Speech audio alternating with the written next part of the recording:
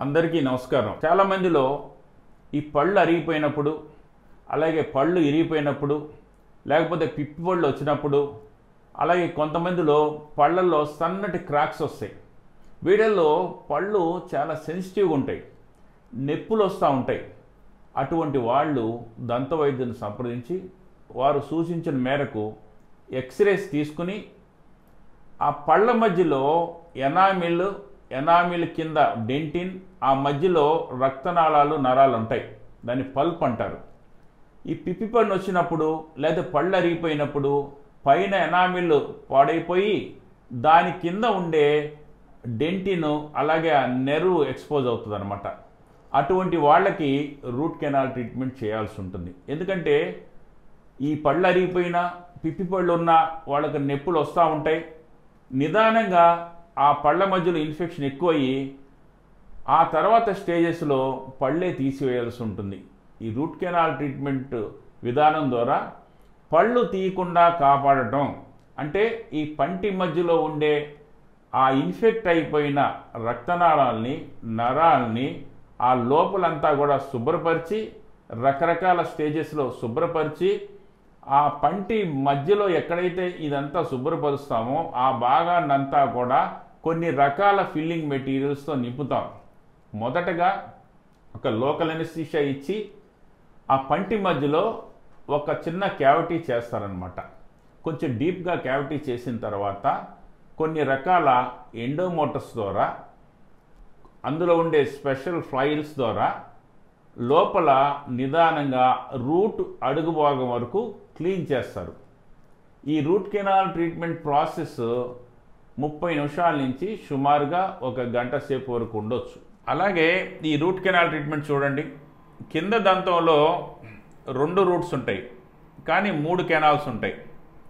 మరి ఈ మూడు కెనాల్స్తో పాటు అనేక రకాలైన యాక్సెసరీ కెనాల్స్ పక్కన ఉంటాయి. మరి ఈ యాక్సెసరీ రూట్ కెనాల్ ట్రీట్మెంట్ చేసేటప్పుడు మరి ఈ లోపలంతా క్లీన్ చేసినప్పుడు పక్కనున్న యాక్సెసరీ కెనాల్స్ ఉన్నా కూడా అది క్లీన్ అయిపోతాయి. కానీ కొన్ని కండిషన్స్లో యాక్సెసరీ కెనాల్స్లో క్లీన్ చేయడం సాధ్యం కాదు. అలాగే కొన్ని చోట్ల క్యాల్సిఫైడ్ కెనాల్స్ ఉంటాయి. ఇప్పుడు కొన్ని కొన్ని చోట్ల క్యాల్సిఫైడ్ కెనాల్స్ ఉంటాయి. క్యాల్సిఫైడ్ కెనాల్ ఉన్నప్పుడు ఈ ఈ రూట్ కెనాల్ ఫిల్లింగ్ పూర్తిగా చివరి వరకు వెళ్ళదు. అంటే ఇక్కడ క్యాల్సిఫై అయిపోతుంది అనమాట కెనాల్ వచ్చేసి ఇక్కడ క్యాల్సిఫై అయిపోతుంది. ఇక్కడ పూర్తిగా లోపలికి వెళ్ళదు.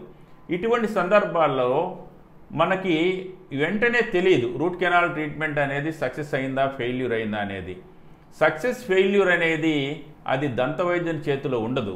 ఎందుకంటే అక్కడ ఉన్న రూట్లో ఉన్న కెనాల్స్ ఉన్న కండిషన్ బట్టి అలాగే పక్కన ఏదైనా యాక్సెసరీ కెనాల్స్ ఉన్న మనకి సన్నటి కెనాల్స్లో మనం క్లీన్ చేయడానికి అవకాశం ఉండదు. కేవలం మెయిన్ కెనాల్స్ మాత్రమే మనం ట్రీట్మెంట్ చేసి అక్కడ ఫిల్ చేయాల్సి ఉంటుంది.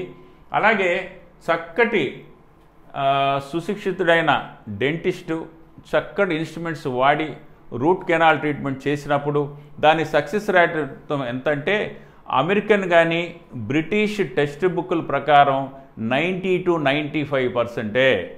కానీ పన్ను తీయకుండా రూట్ కెనాల్ ట్రీట్మెంట్ చేయటం అనేది అత్యుత్తమైన ట్రీట్మెంట్ విధానం.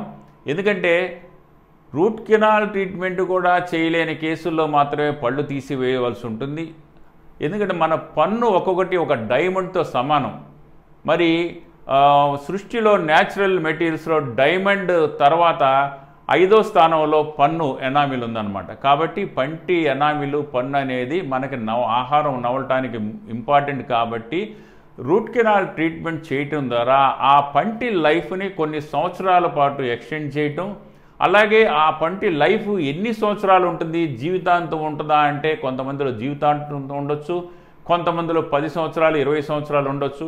ఈవెన్ రూట్ కెనాల్ ట్రీట్మెంట్ చేసి ఆ పైన మనం ఇట్లా క్యాప్ పెట్టినా కూడా ఇక్కడ చూడండి రూట్ కెనాల్ ట్రీట్మెంట్ చేసిన పంటికి తప్పనిసరి క్యాప్ పెట్టాలి. ఎందుకంటే ఈ క్యాప్ పెట్టడం వలన ఈ రూట్ కెనాల్ చేసిన పంటికి ప్రొటెక్షన్ ఉంటుందన్నమాట. మనం మంచి చెట్టుకి ఎండిపోయిన చెట్టుకి ఎంత తేడానో మామూలు ఆరోగ్యంగా ఉన్న పన్నుకి రూట్ కెనాల్ చేసిన పండుకి చాలా తేడా ఉంటుంది. రూట్ కెనాల్ చేసిన పన్ను బ్రిటిల్గా ఉంటుందన్నమాట. మరి ఈ బ్రిటిల్గా ఉన్న పన్నుకి పైన క్యాప్ పెట్టినప్పుడు దీనికి మంచి ప్రొటెక్షన్ ఉంటుంది క్యాప్ పెట్టకపోయినట్లయితే పన్ను ఇరిగిపోతుంది. మనం రూట్ కెనాల్ చేసి పంటికి క్యాప్ పెట్టినా సరే మళ్ళీ లోపల నుంచి పాడవటానికి అవకాశం ఉంటుంది. ఎలా అంటే ఫర్ ఎగ్జాంపుల్ మనం చెక్కలో చెదలు పడతాయి దాన్ని పూర్తిగా దాని లోపల అంతా ట్రీట్ ట్రీట్మెంట్ చేసేసి ఆ చెదను తీసేస్తాం. కానీ రెగ్యులర్గా మరి చూస్తూ ఉన్నా కూడా పైకి బాగానే ఉంటుంది. మళ్ళీ లోపల లోపల చెదలు కొట్టేయటం ప్రారంభిస్తూ ఉంటుంది. అట్లాగే రూట్ కెనాల్ చేసిన పన్ను అయినా సరే క్యాప్ పెట్టినా సరే మళ్ళీ లోపల నుంచి పన్ను పాడవడానికి అవకాశం ఉంటుంది కాబట్టి రూట్ కెనాల్ ట్రీట్మెంట్ చేసే సక్సెస్ రేటు చేసిన వాళ్ళలో ninety to ninety five percent ఉంటే దాని జీవితకాలం ఎంత అనేది మనం చెప్పలేము.